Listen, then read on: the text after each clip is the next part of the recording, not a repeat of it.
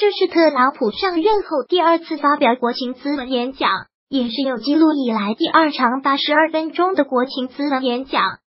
在二零一八年发表国情咨文演讲时，站在特朗普身后的是副总统彭斯和共和党议长瑞恩，两人都是他的盟友。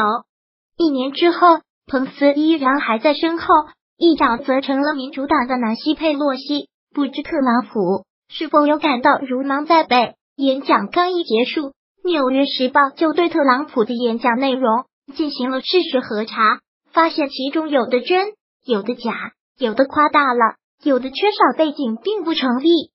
那么，首次面对分裂的国会，特朗普的国情咨文到底讲了啥？求团结，特朗普在演讲开始就呼吁两大团结，求同存异。特朗普称：“我们必须避免报复性、对抗性、惩罚性政治，拥抱合作、妥协、共同体的无限可能。我们一起可以打破数十年的政治僵局，弥合旧的分裂。”治愈旧的伤痕，建立新的联合，形成新的解决方案，从而创造伟大的美国未来。自二零一八年十一月中期选举后，美国国会的分裂已成定局，民主党控制了众议院，共和党继续控制参议院。此后，从十二月二十一日开始，美国经历了长达三十五天的政府关门，损失数十亿美元，其焦点就在于。特朗普想要五十七亿美元资金修建南部边境墙，民主党不同意。就连何时发表国情咨文，也成为特朗普与众议院议长佩洛西争夺的点。佩洛西原本要请特朗普一月二十九日发表国情咨文，后由于政府关门持续，推迟了特朗普发表国情咨文的时间。纽约时报分析称，特朗普求团结的号召。预计不会有明显效果。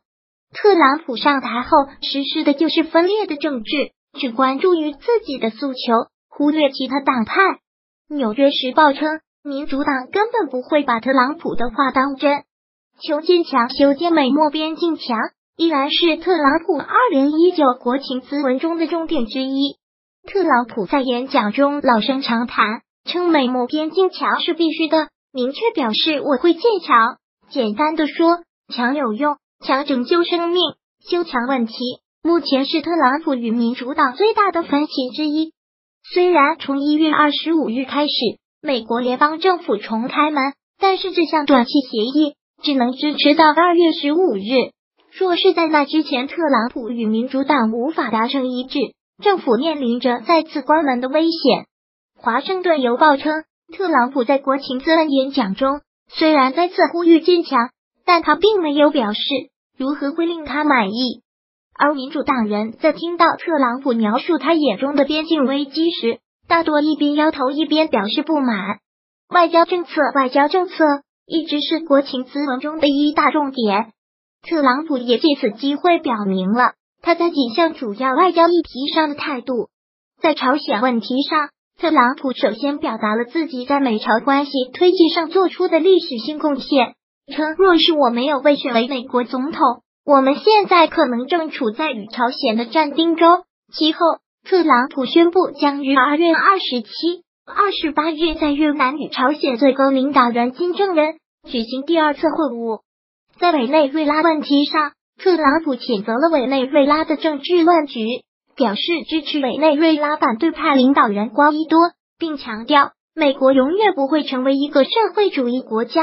在伊朗问题上，特朗普在称伊朗正在做非常非常坏的事情，表态我们不会忽视一个威胁美国人民、威胁犹太人民的军政权。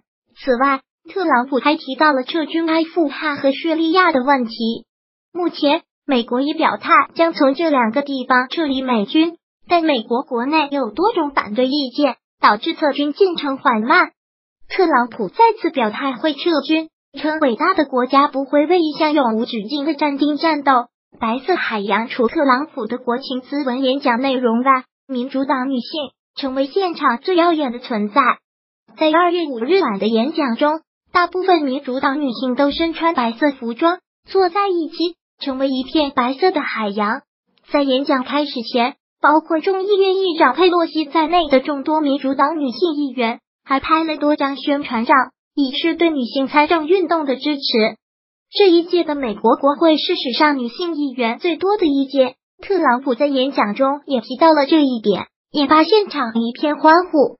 据美联社，女性议员身穿白色，一定程度上是想表明女性的团结，表示他们不会放弃得之不易的权利。民主党的回应在特朗普的国情咨文演讲结束后，根据惯例，民主党选择了一位代表对总统的演讲做出回应。民主党选择的是先写成为美国史上首位黑人女性州长的斯泰西·艾布拉姆斯 （Stacey Abrams）。艾布拉姆斯在代表民主党做出回应时，将重点放在了投票权的问题上。